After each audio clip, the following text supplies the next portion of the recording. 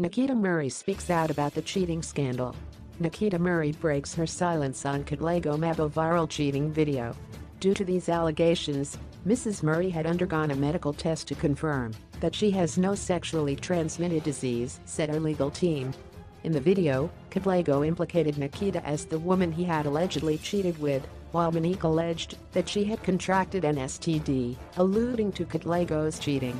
Nikita's lawyer, Vincent Berg of Liquor Law and Business Consultants, issued a statement to Chisholm on her and her husband, Matthew's behalf, labeling the viral video malicious.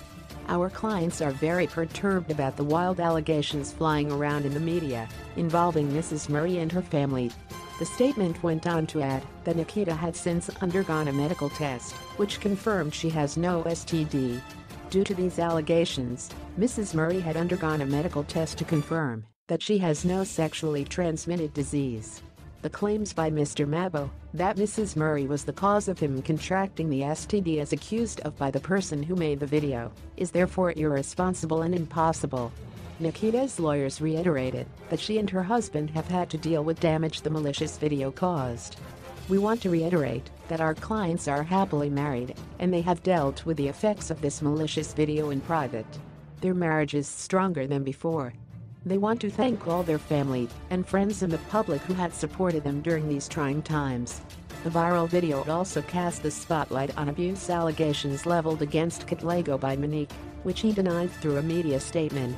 In light of the cheating scandal and abuse allegations, Expresso Morning Show pulled Katlego off air pending the outcome of an investigation.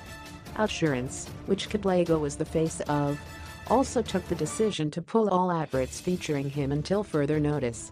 At the time, for legal reasons, the Western Cape Police Service could not say whether a case involving Katlego and Monique had been opened. Kindly be advised that the identity of a complaint in a criminal case cannot be disclosed once the individual has made an appearance in a court of law.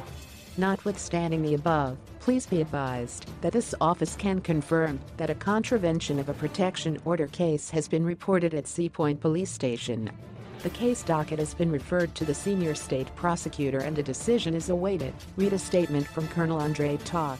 The NPA confirmed to Breaking News that Katlego and Monique were due to appear in court on November 3.